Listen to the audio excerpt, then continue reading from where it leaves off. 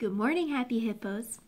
Yesterday we did not have school. It was Monday, which is a school day, but we didn't have anything to do for school. We had the day off because it was Martin Luther King Jr. Day. Now we remember him because he had a dream that all the people on earth would be kind to each other and be peaceful with each other and just treat each other with respect. So let's read a book about Martin Luther King Jr. Day and some of the things that he talked about. Dreaming of Change. During Martin Luther King Jr.'s lifetime, people were not all treated the same. Dr. King dreamed of making the world a better place.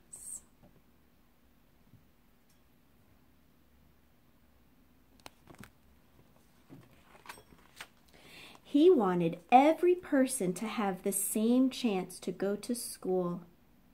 He wanted every person to have the same chance to get a job.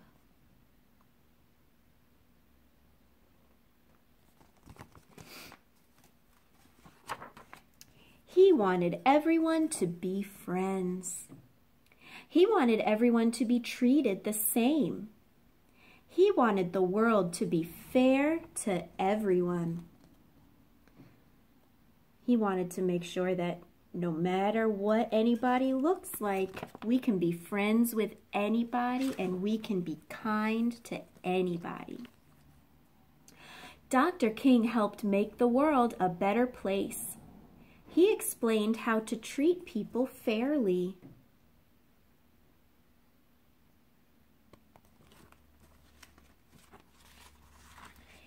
He helped change unfair laws. He wrote books about equality.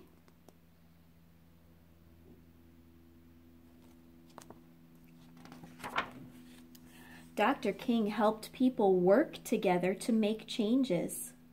He helped change the world without fighting. He helped change the world without war. He was a very peaceful man. Dr. King saw these changes begin to make the world a better place. And we see them all around us today.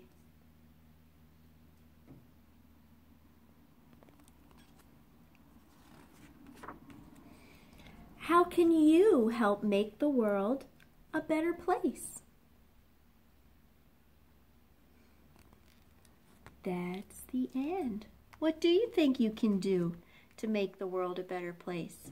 How can you treat people equally, fairly, and kindly, and with respect? Have a great day and be nice.